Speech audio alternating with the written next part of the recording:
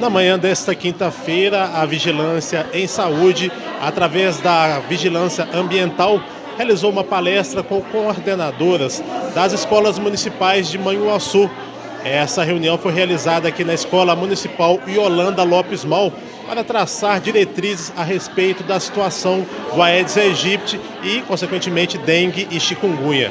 Conversamos com o Leonardo Mota de Sales, que é o coordenador da Vigilância Ambiental. Essas coordenadoras são fundamentais na disseminação de informações contra ah, o mosquito vetor? Perfeito, Danilo. Ah, nós temos a, o nosso projeto é sempre levar essa educação para as crianças para a gente transformar a cultura, porque a biologia do vetor ela é favorável sobre o nosso mau costume que é acondicionar os nossos materiais em locais onde esses, esses materiais acumulam água, né? Então a gente precisa tomar esse cuidado. E qual é a melhor forma da gente transformar a nossa cultura? Através das nossas crianças. Então essa integralidade né, das secretarias, né, da Secretaria de Saúde com a Secretaria de Educação, foi a melhor estratégia que nós tivemos para que a gente possa é, transformar a cultura da nossa população com os pais e os alunos dessas escolas. E nós chegamos a uma conclusão da gente criar esse projeto que é trazer as, uma, uma única informação, uma informação fidedigna de como eliminar o foco, o que é o foco, como a gente pode estar combatendo esse mosquito e a melhor forma de enfrentá-lo.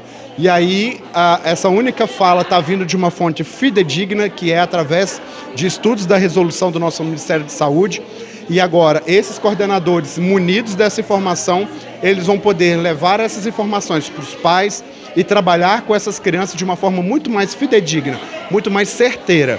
E aí a gente vai conseguir transformar a nossa cultura para frente, que é o que a gente vai enfrentar agora, esse desequilíbrio ecológico, que é o que nós já estamos enfrentando. E aí a gente vai conseguir combater pelo menos essas doenças que o Aedes aegypti traz para nós, que são as arboviroses. Você elaborou um paralelo interessante que é da mudança climática. Hoje a gente está no mês de maio e está bastante calor é por conta do fenômeno El Ninho e a Laninha chegando também, trazendo chuvas para a região. A consequência desse resultado de mudança climática é preocupante por conta do mosquito ainda que não deve desaparecer. Perfeito. O que, que acontece? A gente tem a, a biologia do vetor, ela precisa de água e calor. Se ela tiver água e calor, o mosquito nele ele vai proliferar e nós temos aí essa estiagem que teve, que é o efeito do El Ninho, que está tendo muitas chuvas lá no sul do nosso país e uma seca que aqui no nosso, na região sudeste. Com isso, a gente está tendo essa estiagem de chuva. Nessa estiagem, a gente, a, esses ovos que já foram colocados, ele pode sobreviver até 400 dias nesse recipiente que em algum momento ele teve água e aí ele vai lá sobreviver.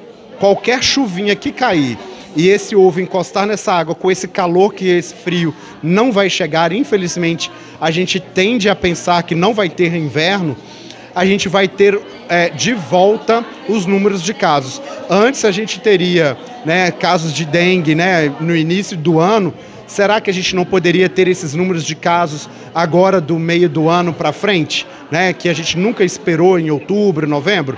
É uma dúvida que a gente tem por causa do efeito da lanina. Então a gente deve pensar e cuidar nesse momento ações efetivas para a gente eliminar os focos, lavar os recipientes, eliminar as águas, colher as nossas calhas, olhar nossas caixas d'água, copas de árvores, para que a gente possa definitivamente eliminar os focos. A reportagem também conversa com Valéria Tasca Rocha, que é analista educacional e justamente disseminar informação através das crianças é uma iniciativa importante também? Claro que é. Porque a, a, criança é igual um mosquitinho. Ela aprende, aí depois chega em casa, ela comenta com o irmão, comenta com os pais. E aí assim vai adiante a família toda. Então essa é a importância da informação que foi nos passada hoje.